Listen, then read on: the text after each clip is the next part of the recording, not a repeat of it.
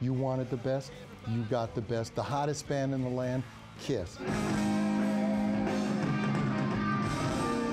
The living legends of larger than life live performances are hitting the road one last time as Kiss embarks on the End of the Road World Tour.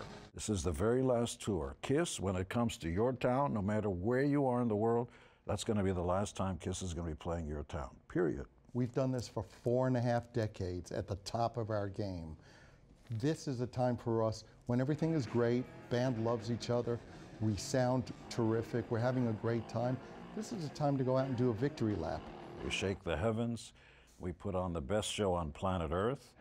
Why would you want to do anything less than what lives up to the legend and legacy of Kiss?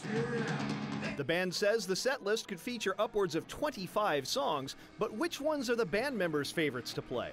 For me, Do You Love Me, I always thought that song is the prototypical Kiss song. It has every element that represents what Kiss is all about. Mine would be uh, Black Diamond from the very first album, and also Kiss Alive because it's an epic tune, it's bombastic, and it's our show ender. And I usually. sing- and I sing it. And he sings it, so that's my favorite by far.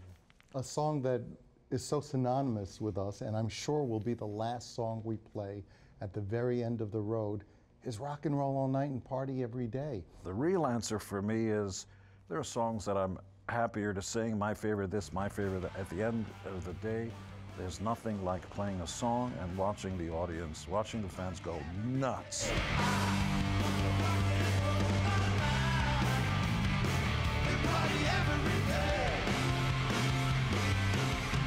Rocking and rolling all night in Hollywood, I'm Rick Damigella.